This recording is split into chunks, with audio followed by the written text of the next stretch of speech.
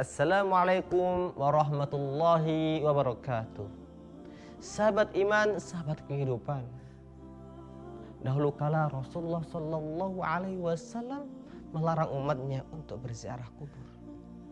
Akan tetapi di kemudian hari Rasulullah Shallallahu Alaihi Wasallam menganjurkan, memerintahkan umatnya untuk berziarah kubur dengan tiga harapan.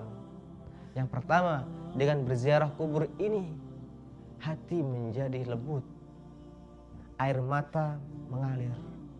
Yang ketiga, dengan berziarah kubur ini kita akan mengingat akan akhirat.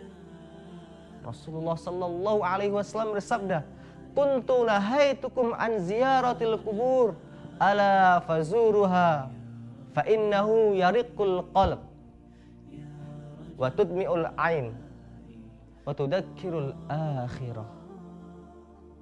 Dahulu kala aku melarang kalian untuk berziarah kubur, maka maka sekarang berziarahlah kalian. Karena dengan berziarah hati ini akan menjadi lembut. Air mata akan mengalir. Dan dengan berziarah ini kita akan mengingat kematian. Sahabat iman, sahabat kehidupan. Maka marilah kita semuanya selayaknya bisa mengamalkan sunnah Rasulullah Sallallahu Alaihi Wasallam yang satu ini dengan harapan yang telah disebutkan oleh Rasulullah.